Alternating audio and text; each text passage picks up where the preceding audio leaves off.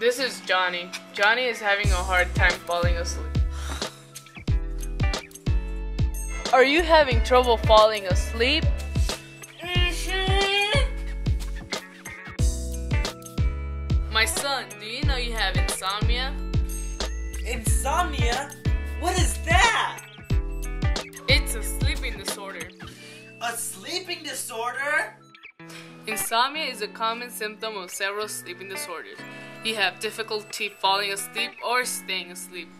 A sleeping disorder is a medical disorder of the sleep pattern of a person, or maybe even an animal, like a kitty cat. It causes a lot of stress and causes physical as well as emotional functioning. In general, teens need more sleep than adults do, typically 7 to 9 hours. And how can I get rid of this? Well, you see, Johnny, most people that have what you have rely on sleeping pills and drugs like Benadryl or herbal medications like melatonin.